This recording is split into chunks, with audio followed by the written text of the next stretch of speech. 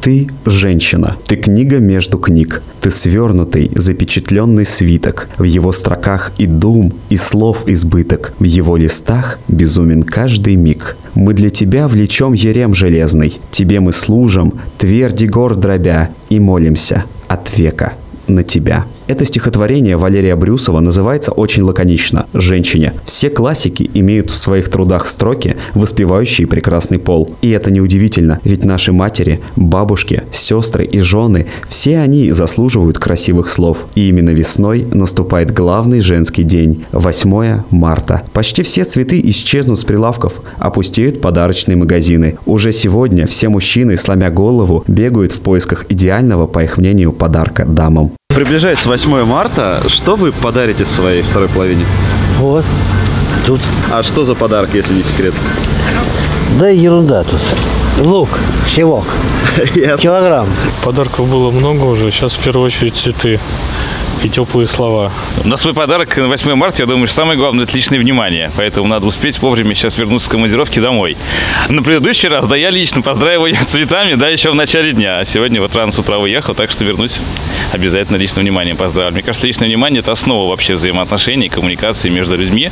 А между близкими людьми это, мне кажется, вообще, собственно говоря, самый фундамент э, теплых отношений на долгий промежуток времени. Ну, в первую очередь цветы, как весна. Ну, а второй уже как муж. Пока еще нет времени этим заняться. Буду завтра решать. Только материальный подарок. И цветы. Цветы, конфеты. В первую очередь цветы.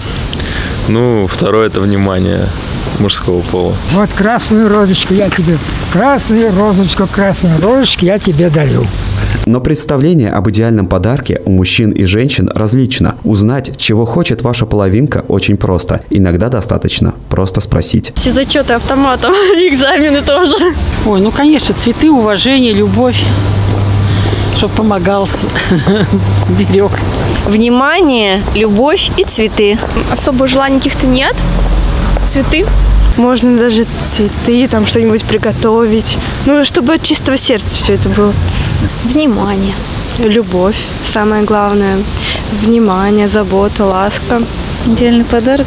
Да. Цветы. Хорошее настроение, романтика, кино. Согласно социологическим опросам, получить букеты в подарок хотят более половины женщин, а 70% мужчин планируют преподнести их милым дамам. На втором месте – парфюмерия, а любимый аромат хотели бы обрести четверть представительниц прекрасного пола. И 27% мужчин готовы удовлетворить их маленький каприз. Лучшие друзья девушки – ювелирные украшения. На третьем месте в общем рейтинге праздничных подарков. Их ожидают получить 29% женщин. И осуществить их желание готов каждый пятый мужчина. Торты, конфеты, шоколад находятся на четвертом месте по популярности среди россиянок. Сладкий подарок хотели бы получить 13% женщин. Интересно, что среди представительниц Интересно, что среди представителей старшего поколения каждый пятый мужчина считает сладости оптимальным презентом к 8 марта. Желающих облегчить даме своего сердца тяготы быта хотя бы в один день набралось всего 4%. Что бы вы ни хотели подарить женщине на 8 марта, помните,